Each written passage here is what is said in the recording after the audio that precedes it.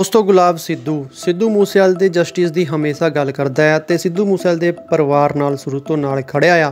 ਅਤੇ ਦੋਸਤੋ, ਗੁਲਾਬ ਸਿੱਧੂ ਦਾ ਇੱਕ ਲਾਈਵ ਕਨਸਰਟ ਵਾਇਰਲ ਹੋ ਰਿਹਾ ਹੈ, ਜਿਸ ਦੇ ਵਿੱਚ ਕੀ ਗੁਲਾਬ ਸਿੱਧੂ ਨੇ ਸਿੱਧੂ ਮੂਸੇਵਾਲ ਦਾ ਗਾਣਾ ਵੀ ਪਲੇ ਕੀਤਾ। ਤੁਸੀਂ ਦੇਖ ਸਕਦੇ ਹੋ ਆਪਣੀ ਸਕਰੀਨ ਦੇ ਉੱਤੇ।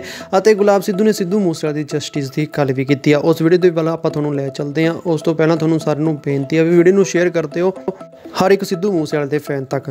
ਅਤੇ ਤੁਸੀਂ ਵੀ ਸਿੱਧੂ ਮੂਸੇਵਾਲੇ ਦੇ ਜਸਟਿਸ ਦੀ ਜ਼ਿਆਦਾ ਤੋਂ ਜ਼ਿਆਦਾ ਹੈਸ਼ਟੈਗ ਪਾ ਕੇ ਪੋਸਟਾਂ ਜ਼ਰੂਰ ਪਾਇਆ ਕਰੋ ਜਿੱਥੇ ਵੀ ਤੁਸੀਂ ਪੋਸਟ ਪਾਉਂਦੇ ਹੋ। ਅੱਤ ਤੋਂ ਸ਼ੇਰਾਂ ਸਾਡੇ ਸ਼ਿਕਾਰ ਹਿਰਨ ਦੀਆਂ ਥੈਂਕ ਯੂ ਜਨਾਬ ਥੈਂਕ ਯੂ ਲਿਆ ਟੀ-ਸ਼ਰਟ ਫੜਾ ਕੇ ਜਾ ਬਾਈ ਬਣਾ ਕੁਝ ਕੁ ਵਕਤ ਲਈ ਹੱਥਾਂ ਕੀ ਹਥਿਆਰ ਛੱਡੇ। ਥੈਂਕ ਯੂ ਡਾਰਲਿੰਗ ਆਉ ਦਬ ਗਿਆ ਜੱਟ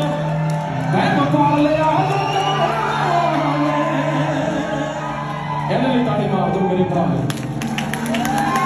ਮੈਂ ਫੇਰ ਕਹਿੰਦਾ, ਤੁਸੀਂ ਟਿਕਟੌਕ ਚਲਾਉਂਦੇ ਹੋ, ਇੰਡੀਆ 'ਚ ਬੈਨ ਹੋ ਗਈ ਕੋਈ ਵੀ ਸੋਸ਼ਲ ਮੀਡੀਆ ਐਪ ਚਲਾਉਂਦੇ ਹੋ hashtag justice for Sidhu Moosewala ਲਿਖ ਕੇ ਜ਼ਰੂਰ ਪਾਇਆ ਤਾਂ ਦੋਸਤੋ, ਤੁਸੀਂ ਸੁਣੀ ਲਿਆ, ਗੁਲਾਬ ਸਿੱਧੂ ਨੇ ਕਿਹਾ hashtag justice for Sidhu Moosewala ਲਿਖ ਕੇ ਜ਼ਰੂਰ ਪਾਇਆ ਕਰੋ। ਸੋ ਇਹ ਬੇਨਤੀ ਹੈ ਦੋਸਤੋ, ਸਿੱਧੂ ਮੂਸੇਵਾਲਾ ਨੂੰ ਸਟ੍ਰੀਮ ਵੀ ਕਰਿਆ ਕਰੋ ਸਪੋਟੀਫਾਈ ਦੇ ਉੱਤੇ।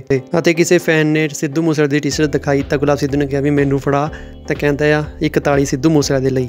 ਆਪਣੇ ਆਪ ਦੇ ਵਿੱਚ ਇੱਕ ਪ੍ਰਾਊਡ ਵਾਲੀ ਗੱਲ ਆ ਦੋਸਤੋ ਇਹ। ਅਤੇ ਦੋਸਤੋ ਵੀਡੀਓ ਨੂੰ ਸ਼ੇਅਰ ਕਰਿਓ ਡਿਸਕ੍ਰਿਪਸ਼ਨ ਅਤੇ ਫਸਟ ਕਮੈਂਟ ਦੇ ਵਿੱਚ। ਇੱਕ ਇਹੋ ਜੀ ਵੀਡੀਓ ਦਾ ਲਿੰਕ ਆ ਦੋਸਤੋ। ਸੋਸ਼ਲ ਮੀਡੀਆ ਤੇ ਵਾਇਰਲ ਹੋ ਰਹੇ ਬਦੋ ਗਾਣੇ ਵਾਲੇ ਸਿੰਗਰ ਦਾ ਇੱਕ ਪੰਜਾਬੀ ਵੀਰ ਨੇ ਟੈਟੂ ਬਣਵਾਇਆ। ਦੇਖ ਕੇ ਜਰੂਰ ਡਿਸਕ੍ਰਿਪਸ਼ਨ ਅਤੇ ਫਸਟ ਕਮੈਂਟ 'ਚ ਲਿੰਕ ਆ। ਧੰਨਵਾਦ।